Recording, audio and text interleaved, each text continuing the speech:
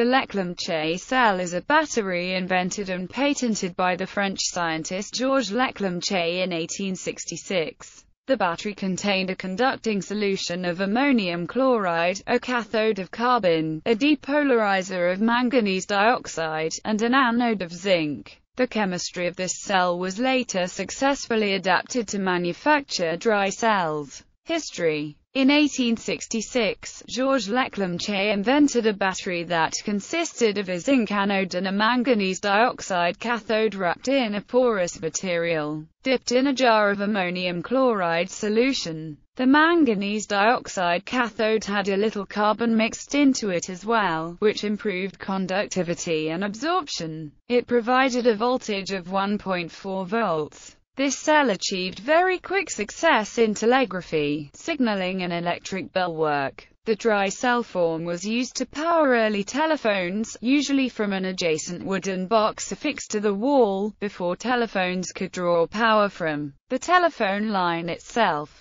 The Leclanché cell could not provide a sustained current for very long. In lengthy conversations, the battery would run down, rendering the conversation inaudible. This was because certain chemical reactions in the cell increased the internal resistance and, thus, lowered the voltage. These reactions reversed themselves when the battery was left idle, so it was good only for intermittent use. Construction The original form of the cell used a porous pot. This gave it a relatively high internal resistance and various modifications were made to reduce it. These included the agglomerate block cell and the sac cell. Porous pot cell in Leclanché's original cell the depolarizer, which consisted of crushed manganese dioxide, was packed into a pot and a carbon rod was inserted to act as the cathode. The anode, which was a zinc rod, was then immersed along with the pot in a solution of ammonium chloride.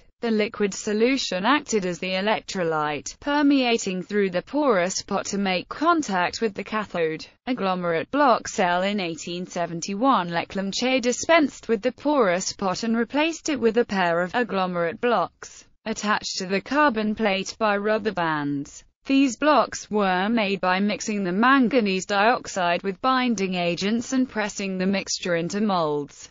Sac cell In this cell the porous pot was replaced by a wrapping of canvas or sacking. In addition, the zinc rod was replaced by a zinc cylinder to give a larger surface area. It had a lower internal resistance than either of the above. Chemistry the chemical process which produces electricity in a Leclanché cell begins when zinc atoms on the surface of the anode oxidize, i.e., they give up both their valence electrons to become positively charged ions. As the zinc ions move away from the anode, leaving their electrons on its surface, the anode becomes more negatively charged than the cathode. When the cell is connected in an external electrical circuit, the excess electrons on the zinc anode flow through the circuit to the carbon rod, the movement of electrons forming an electric current. After passing through the whole circuit, when the electrons enter the cathode, they combine with manganese dioxide and water which react with each other to produce manganese oxide and negatively charged hydroxide ions.